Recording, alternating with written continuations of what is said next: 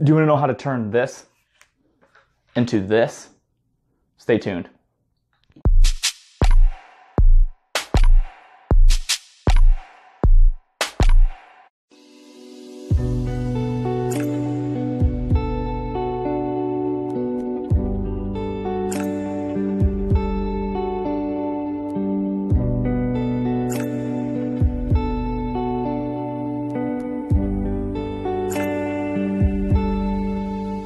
This is the Ruger 1022 chassis from Gungner Inc.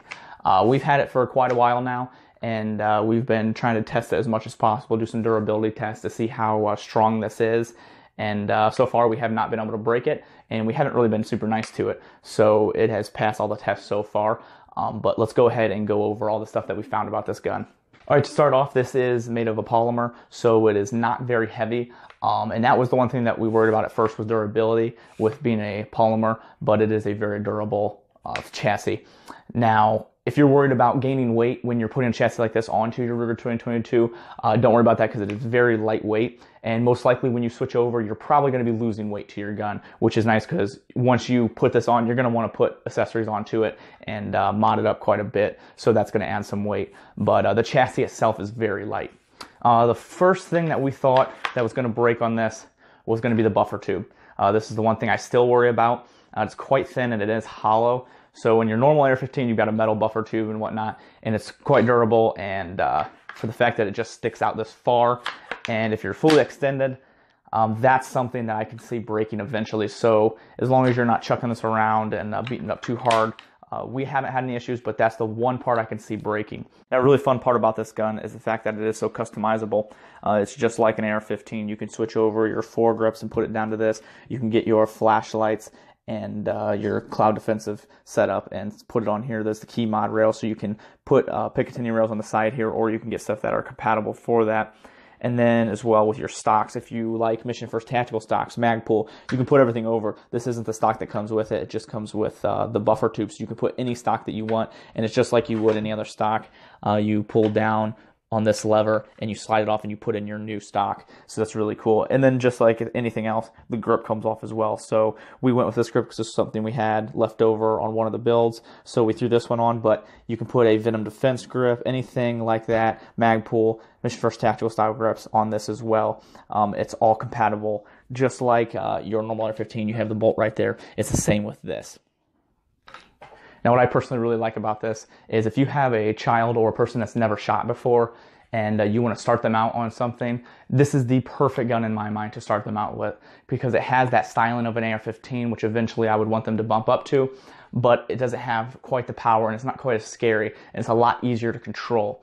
So for my children, when they get old enough, this is going to be the first gun they use, just for the fact that um, eventually, I want them to be using AR-15s, but uh, I want them to get used to the style and the attachments that a gun like this would have, and this would be perfect for them to start out with. Lightweight and uh, plus ammo is very cheap, so you can go out and plink with this and not worry about spending a ton of ammo. And uh, it's just a really fun gun to play around with.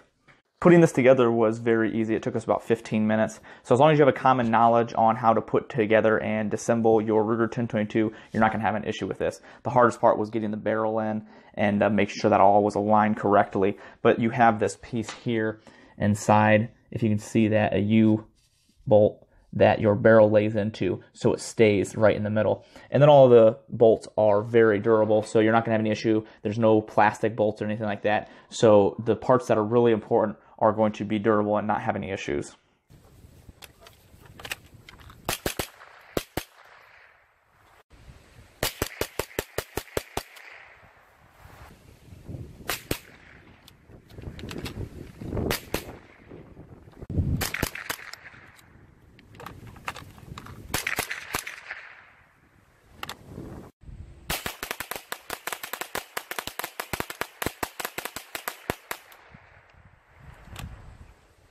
This is a product you guys would be interested in, make sure you guys go check out Gungner Inc.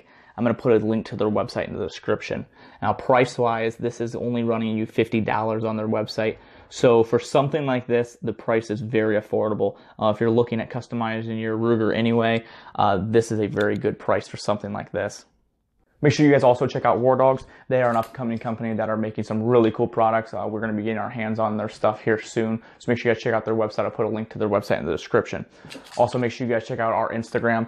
Uh, we are finishing up our 300 Blackout, which is the Ares project. Um, this is an absolutely awesome build that we've been working on. So make sure you guys go check that out. Um, make sure you subscribe to our YouTube channel, and that really helps us a ton. Like, comment as well. And then make sure you guys check out our sponsor, USA Gun Bunker, and give him a follow as well. Thank you guys.